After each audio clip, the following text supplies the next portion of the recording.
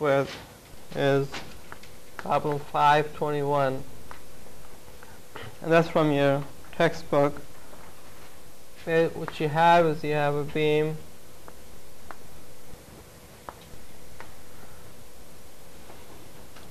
And there's a hinge at point here. There's a roller here. This is point A this is point B. Then you got loadings on this you have force here.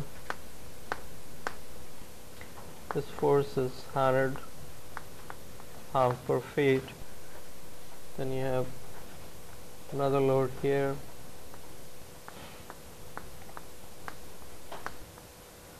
That's 200 pounds per feet and the problem here is to determine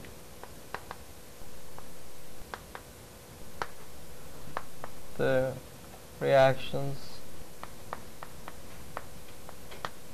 at points A and B. So you have a beam and it has a hinge at point A, a roller at point B, and then you have the loads. You have a uniform distributed load from here up to here, and then you have a trapezoidal load from here up to here. The distance is here as 5 feet, and the distance on the second half is 4 feet.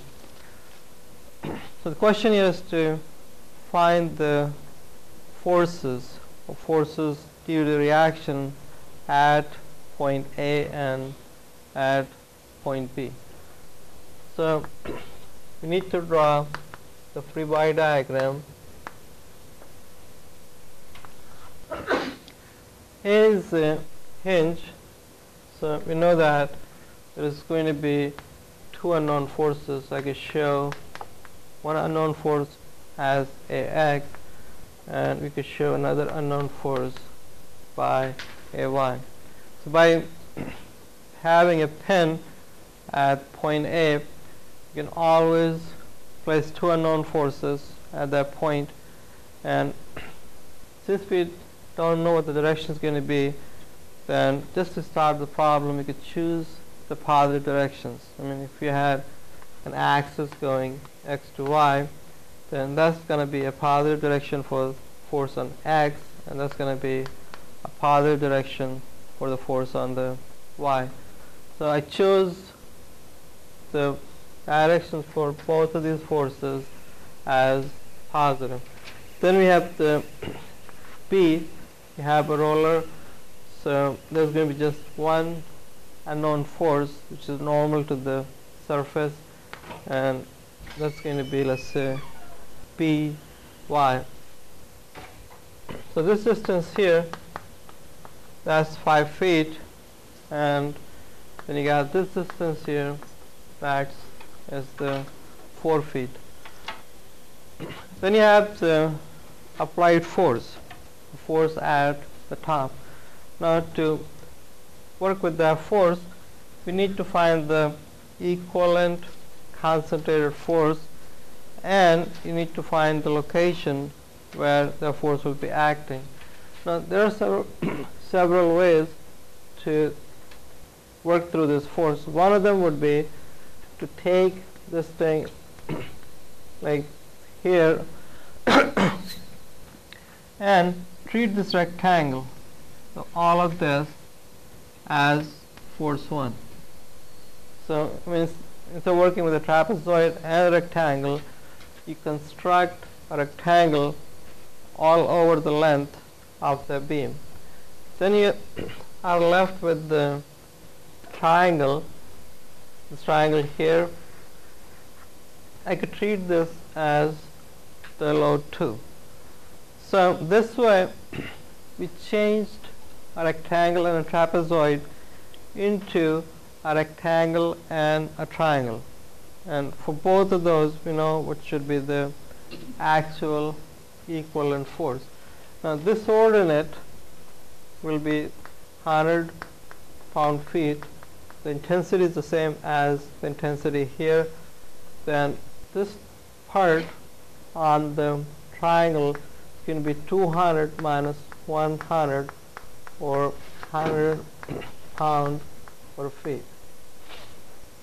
So the first force that's F1. F1 is the equivalent loading as a result of this rectangle. And the area of the rectangle is 100. It's acting on a length of 9 feet. So the actual force is going to become 900 pounds. Then its location. It means we need x 1 bar. And that half of the length, which means L over 2. So in this case L is 9, so it's 9 over 2 or 4.5 feet.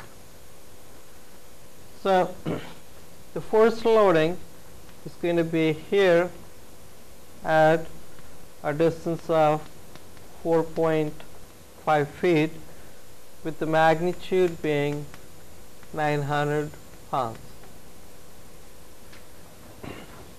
Okay, this point is A and this point is B. Then the second force, that means F2. That's a triangle, it's a one half. It acts on a length of 4 and it has a height which is 100. So the magnitude here is going to be 200 pounds. Then you need the distance x2. Now, we're looking at this triangle, and that's the one we're working with, and we know for the triangle, I mean if you had a triangle, then the location of the loading from the base is L third. If this whole thing is L, then the actual location where you're going to place the equivalent load is always third from the base or third of the length from the base.